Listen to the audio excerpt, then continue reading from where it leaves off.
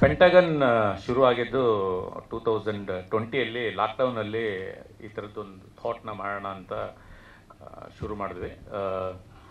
ಅದ್ರ ಬಗ್ಗೆ ಎಲ್ಲ ತುಂಬ ಮುಂಚೆ ಮಾತಾಡಿದ್ವಿ. ಐದು ಜನ ಡೈರೆಕ್ಟ್ರು ಅದರಲ್ಲಿ ನಾಲ್ಕು ಜನ ಡೈರೆಕ್ಟರ್ಸ್ಗೆ ನಾನು ತುಂಬ ಥ್ಯಾಂಕ್ಸ್ ಹೇಳಬೇಕು. ನಾನು ಅಂದ್ಕೊಂಡಿದ್ದ ಒಂದು ಡ್ರೀಮ್ಗೆ ನಾನು ಅಂದ್ಕೊಂಡಿದ್ದಂಥ ಒಂದು ಕನಸಿಗೆ ಅವರು ನಾಲ್ಕು ಜನ ಬಂದು ಇದಕ್ಕೆ ಇನ್ವಾಲ್ವ್ ಆಗಿ ಅವ್ರ ಥಾಟ್ಸ್ಗಳನ್ನು ಮತ್ತು ಅವರ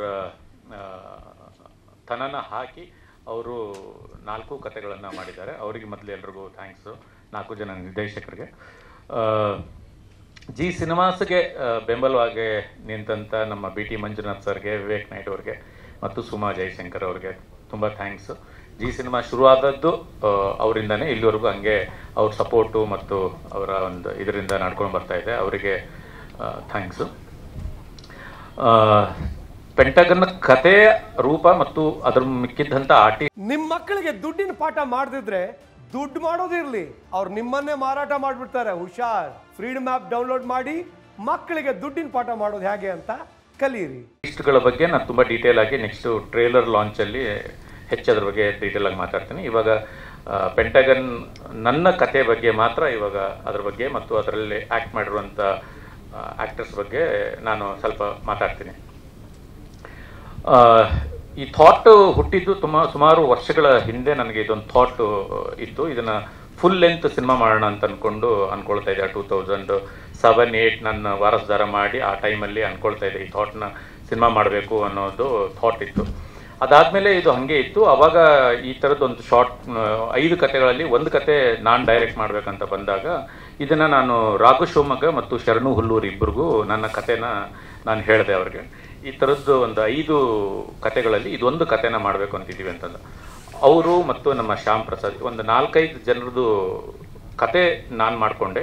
ಸ್ಕ್ರೀನ್ ಪ್ಲೇಗೆ ಒಂದು ನಾಲ್ಕೈದು ಜನ ಇದರಲ್ಲಿ ಆ್ಯಡಪ್ ಮಾಡಿ ಇದನ್ನು ಸ್ಕ್ರೀನ್ ಪ್ಲೇನ ಮಾಡಿದ್ದೀವಿ.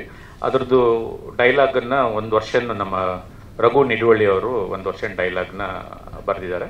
ಇದರದ್ದು ಡಿ ಒ ಪಿ ಆಗಿ ಅಭಿಲಾಷ್ ಮಾಡಿದ್ದಾರೆ. ಮ್ಯೂಸಿಕ್ನ ನಮ್ಮ ಖದ್ರಿ ಮಣಿಕಂಠ್ ಸರ್ ಮಾಡಿದ್ದಾರೆ. ಅದಾದಮೇಲೆ ಎಡಿಟರ್ ಬಂದ್ಬಿಟ್ಟು ವೆಂಕಿಯವರು ಮಾಡಿದ್ದಾರೆ.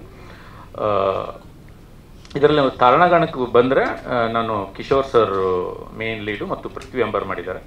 Kishore sir as a actor ಆಗಿ ಇಡೀ ಜಗತ್ತಿಗೆ ಗೊತ್ತು ಮತ್ತು ಇಂಡಿಯಾ ಇವತ್ತು ಅವ್ರ ಎಲ್ಲ ಭಾಷೆಗಳಲ್ಲಿ ಮಾತಾಡ್ತಾ ಇದ್ದಾರೆ ಅವ್ರ ಬಗ್ಗೆ ಮತ್ತು ಅವರ ಸಿನಿಮಾಗಳನ್ನು ಅವ್ರನ್ನ ಎಲ್ಲರೂ ನೋಡಿದ್ದಾರೆ. ಅದು ಅದು ಗೊತ್ತಿರುವಂಥದ್ದೇ. ಅದರ ಅವರ ಆ್ಯಕ್ಟಿಂಗ್ ಬಗ್ಗೆ ನಾವೇನು ಹೆಚ್ಚು ಹೇಳಬೇಕಾಗಿಲ್ಲ. ಅವರಿಗೆ ಒಂದು ಕಥೆಯ ರೂಪ ಮತ್ತು ಅವತ್ತಿನ ಸೀನ್ ಈ ತರ ತೆಗಿತಾ ಇದೀವಿ ಸರ್. ಈ ತರ ಸೀನ್ ಇದೆ ಅಂತ ಒಂದು ಸಿನಿಮಾ ರೀಡಿಂಗ್ ಮಾಡ್ತೀವಿ. ಬಿಗಿನಿಂಗ್ ಅಲ್ಲಿ ಆ ಸಿನಿಮಾ ರೀಡಿಂಗ್ ಆದಮೇಲೆ ಅವ್ರ ಅನಿಸಿಕೆಗಳನ್ನು ಹಿಂಗಿಗೆ ಇರಲಿ ಮತ್ತು ಈ ತರ ಕರೆಕ್ಷನ್ಸ್ ನೋಡ್ಬೋದಾ, ನೋಡಿ ಅಂತ ಒಂದು ಸಣ್ಣ ಪುಟ್ಟ ಕರೆಕ್ಷನ್ಸ್ಗಳನ್ನ ಅವರು ಹೇಳ್ತಾರೆ.